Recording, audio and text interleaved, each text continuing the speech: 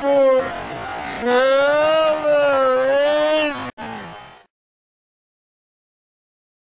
well, Swansea's injury crisis still restricts caretaker manager Bobby Smith team selections, but he has at last got uh, left back Andy Cook back from a spell in the treatment room, and he can return right back Steve Jenkins to his true position after an emergency spell in midfield.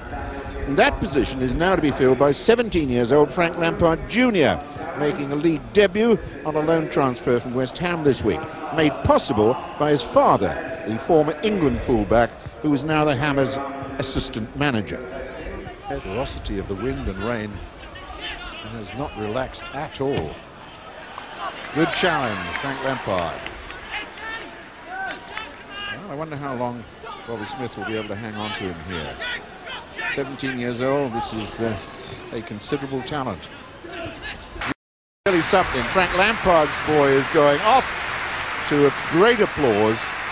The lad has really put himself about to some effect. Gets a pat on the back, and everybody says, well done, son. You've done well on your first taste of league football. And Mike Basham comes on.